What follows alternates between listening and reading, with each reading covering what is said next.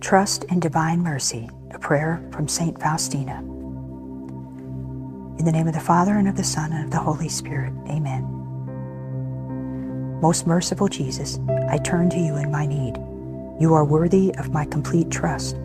You are faithful in all things. When my life is filled with confusion, give me clarity and faith.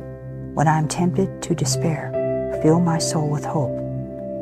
Most merciful Jesus, I trust you in all things. I trust in your perfect plan for my life. I trust you when I cannot comprehend your divine will. I trust you when all feels lost. Jesus, I trust you more than I trust myself. Most merciful Jesus, you are all knowing. Nothing is beyond your sight. You are all loving. Nothing in my life is beyond your concern. You are all powerful. Nothing is beyond your grace. Most merciful Jesus, I trust in you. I trust in you. I trust in you. May I trust you always and in all things.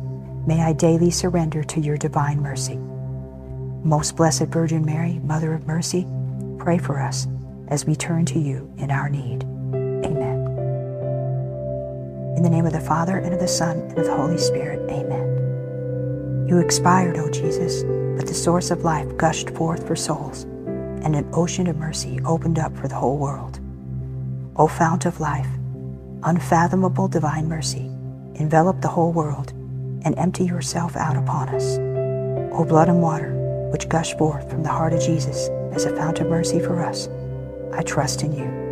Amen. In the name of the Father, and of the Son, and of the Holy Spirit, amen.